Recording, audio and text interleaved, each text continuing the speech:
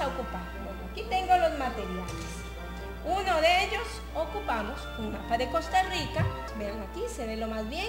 Incluso yo le pegué encima los nombres de cada provincia para que quedara bien clarito para el niño. Fácil de ver, con buena letra. Luego ocupo además una cartulinita. Esta cartulina es de reciclaje, no necesitan comprar una especial, ahí es de reciclaje. Además de esta cartulinita, ocupamos otro mapa, plasticina, vean que son cosas que hay en la casa y que son sencillitas. Una goma, regla, pilot y paso número uno. Nos conseguimos un cartoncito de reciclaje, el mapa que yo tenga, que ustedes hayan conseguido, y lo coloco exactamente formando un cuadradito. Inclusive esta semana, si gustan, yo voy a subir este mapa de Costa Rica para el que les sirva en el Facebook de Cuenticos. Les agradezco mucho a todos los seguidores del Facebook, que ahí veo sus saludos y veo sus me gusta y eso es muy bueno. Ven aquí este cuadradito. Yo lo pinté, le, lo dibujé exactamente donde va el mapa. Luego tomé una regla en este caso, yo le di 2 centímetros y medio de ancho a todos los lados. Vean como que cogí y a todos los lados vine y le saqué 2 centímetros y medio.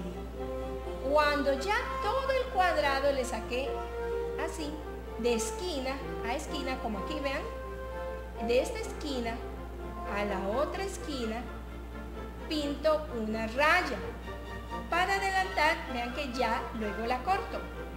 Esto es lo único que tengo que cortar. La orilla igual y esta esquinita. Y vean qué fácil se hace la caja. Como a veces las cajas nos cuestan, vean que esta es muy sencilla. Simplemente yo vengo, cada lado lo doblo, lo marco bien. Y cuando está así bien marcadito, Vean que ya con solo esto, aquí lo acomodo, vean que ya sale una de las esquinas de la caja. Tomo una grapadora, un masking, lo que ustedes tengan a bien que les quede más sencillo. Vean acá, solamente con pegar esquina con esquina y doblarla, vean qué sencillo ya quedó la esquina de la caja. Repito esto durante los, las cuatro mientras. Aprendemos viendo y aprendemos haciendo. Luego cuando tengo la cajita, tomo el mapa y con goma de esta de barra es más sencillo. Simplemente vengo, lo pego, paso por acá y ya tengo démosle la forma exacta. Esta está más rectangular acá. Y ya tengo la base. Vean, en dos toques está lista. Luego, con plasticina del color que ustedes deseen y con un poquito de paciencia, uno puede hacer tiritas y por lo menos para la orilla, uno puede poner al niño a que haga esta parte. La plasticina tiende a ser muy adhesible no necesita ponerle goma. Entonces uno lo que hace es empezar a pegar una capa gruesita de plasticina. Aquí en televisión no me da el tiempo para hacer la tora, pero sí les voy a mostrar esta parte. ¿La ven acá? Ahora voy a explicar, luego lo voy a cubrir todo esto y esto con plasticina. Posteriormente, ¿se acuerdan que yo ya tenía otro mapa? Yo ocupo dos mapas para este proyecto. Tomo un cartón de reciclaje, ojalá un poquito gruesito. Vean que es de reciclaje. Y detrás del mapa, de nuevo un poquito de goma. Y esto pegado. Entonces, con la tijera y paciencia, voy y sigo recortando. Ahora, esta parte, que es la que me interesa mucho.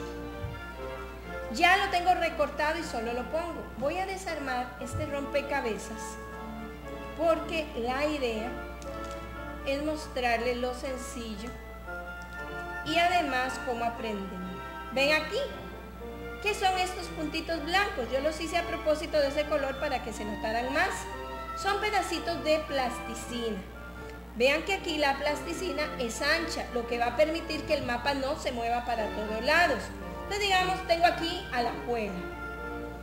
El niño va a tocar el mapa, va a ver su tamaño, va a ver qué lado está para abajo, qué lado está para arriba, cuál es el lado correcto, porque el rompecabezas solo le va a calzar de un lado. Y con ese pedacito de plasticina no se va a caer, va a quedar ahí pegadito. Por ejemplo, nuestra provincia, la provincia de Limón, sumamente importante que ellos al ver esto van a ir grabando en sus mentes cuál es la forma de nuestra provincia, que no está así boca abajo, que no está para este lado o para el otro, no, tiene solo un lado. Aquí me quedó la plasticina por detrás. Entonces, donde yo vengo y lo acomodo acá, vean qué didáctico. Aquí ya me quedó perfectamente la provincia de Limón, ahí pegadita. La idea es esta, los niños poco a poco van a ir poniendo todo el mapa y se van, van a tocar, a ver, a hacer el mapa. Y yo les aseguro que les va a ir muy bien cuando hagan esta parte en los exámenes de estudios sociales, que a veces los niños sufren un poco con la geografía porque necesitan tal vez tocarla de otra forma para aprender.